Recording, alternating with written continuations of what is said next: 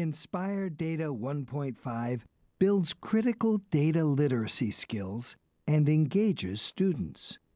They actively explore and analyze data using dynamic Venn, bar, stack, pie, and axis plots to interpret information and draw conclusions in science, mathematics, and social studies. Students work with data using two unique environments Table View and Plot View. In Table View, they record and collect data. And in Plot View, they explore and analyze the data using multiple plot types. Originally funded under a grant from the National Science Foundation and developed by TERC and Inspiration Software, Inspire Data 1.5 has been created and published by Inspiration Software to give students tools that support improved data literacy. Getting started with Inspire Data is easy.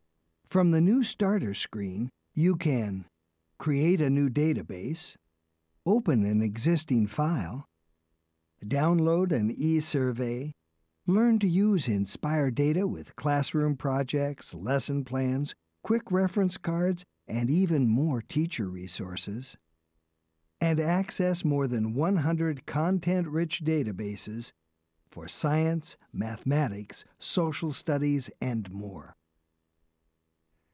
Hi, welcome to this segment of Digital Discoveries. I'm Tim Holt. And in this, uh, this particular segment, we're going to talk about Inspire Data. Obviously, we just played a short video introduction to Inspire Data. And Inspire Data is a product that we have provided for all of our teachers at our Title I campuses in the El Paso Independent School District. So this segment is actually for our teachers. And um, so what we need to uh, what we need to talk about here is what is Inspire Data, how do you get it, and what would you use it for? So we're going to assume uh, with this, uh, this segment that you've already downloaded Inspire Data onto your teacher laptop computer. And if you haven't done so yet, just get with your instructional technology specialist and they'll show you how to download it. It's a very, very easy download and it's a, it's a quick install. It's not actually a very large program. It's just uh, you have to, once you download it, you have to put in the, the serial number. But it's pretty easy to do. And uh, so now we're going to talk actually about Inspire Data. So when you turn on the program Inspire Data, you're going to get this screen. And so you say to yourself, well, what the heck is Inspire Data? Why would I even be interested in this? Well, Inspire Data allows your students to look at data beyond just a chart or a simple graph. Usually when our students are looking at data, they are looking at data that's in some kind of chart form or in a graph form. And that's about all they can do with it. They, they don't uh, manipulate it anymore. Inspire Data allows students to actually uh, manipulate the data. So uh, uh I, uh, talking about it and actually showing it are two different things. So I'm going to actually open up one of the uh, sample databases that come with Inspire Data and we're going to look at how to play with it. So the program actually comes with 100 sample databases, and those sample databases are in science, social studies, mathematics, and even in the arts and, and other uh, fields of study. So uh, I'm a, a, science teacher from way back, and so I always love to look at science data. So here I am, I'm going to look at science. And I know that uh, in our middle schools and our high schools, we always are looking at the periodic table of elements. And so one of the, one of the um, uh, databases that are included here is the elements. And so they've entered the information on all of the elements on the periodic table. So I'm going to open that up. And when you open up a database, it just looks pretty much like a standard uh, Excel type database. And so if you look here, I'm going to uh, zoom in a little bit, you can actually see that They've entered some data, the name of the element, the atomic number, the atomic symbol, the classification, the year it was discovered, what its melting point is in Celsius, and what its melting point is in Fahrenheit. So that's pretty standard stuff. I mean, most kids can actually kind of enter that data pretty easily. So what do you do with it once you've got that data into it? Well, in uh, Inspired Data, you can actually start playing with all that data and visualizing it in different ways. And the way to do that is the first thing you want to do is you want to hit this little chart there, plot view. We've got the chart view, that's what we're in right now. What we want to move to is the plot view. So we're going to click on that. And there is all that data, but it's now represented in different points. So these are all the elements that we just opened up. Now this could be any kind of data. For our purposes here, we're just using the, the data from that one database, but there's lots and lots of different ways that students can enter data. So if you click on one of these, you can actually see what that is. Like for instance, I just randomly picked one. It's a uranium. Everybody's familiar with uranium, and it gives you all the information of uranium. Um, and click on another one here that's plutonium and so on and so forth. There's all the different ones. There's one that I don't even didn't even know it existed, Darmstadtium. So I never even knew that that was. So you've got all this data. So now what can you do with it? Well, there's different ways that you can start plotting the data and start plotting the, the information in Inspire data. So let's look at a real quick one you can make some awesome Venn diagrams using Inspire data. Um, so for instance, we have those different fields that we were talking about earlier, the melting point in Celsius, the melting point in uh, the year it was discovered. So for instance, I want this field to be equal to, let's see, let's see, I want the field, I have to pick the field.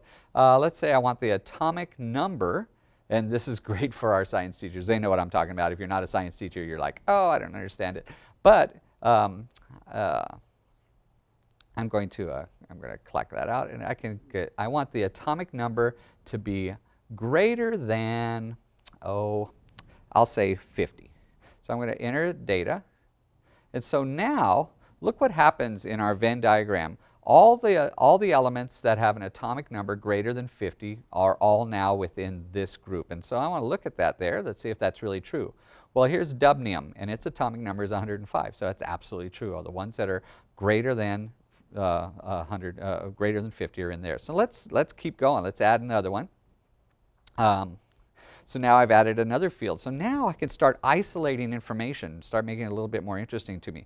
So now I want the atomic, uh, let's say the melting point in Fahrenheit to be, I don't know, let's start playing with it, greater than 300. I'll uh, just see what happens. So now look what happens.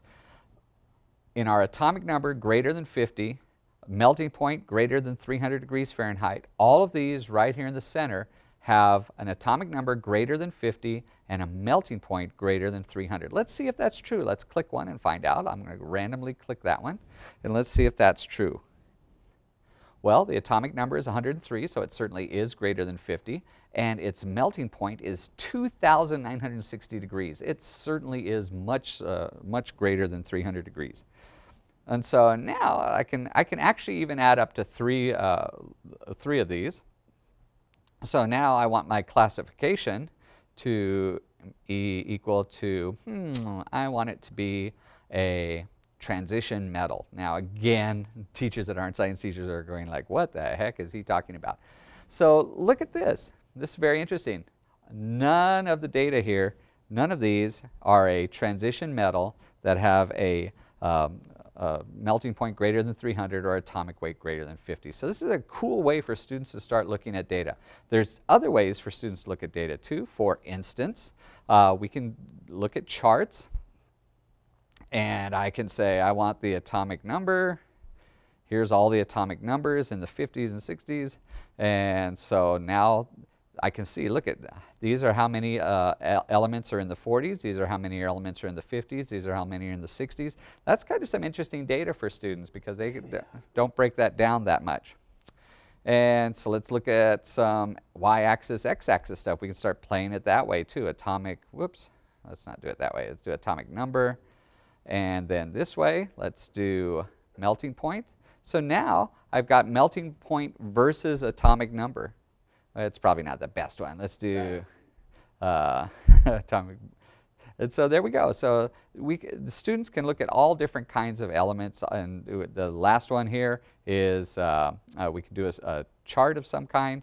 We can label our, our, all of our stuff in there. These are some pretty awesome tools that are available.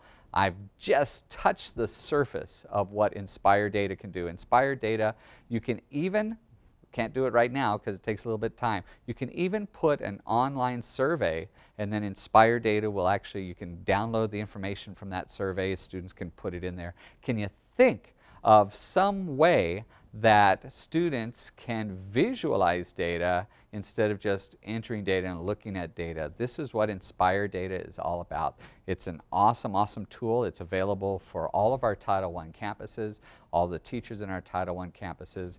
If you need more information about how to use Inspire Data, remember it's not just a science tool, it's a math tool, social studies tool as well. Um, to call your instructional technology specialist. Thank you for joining me for this segment of Digital Discoveries.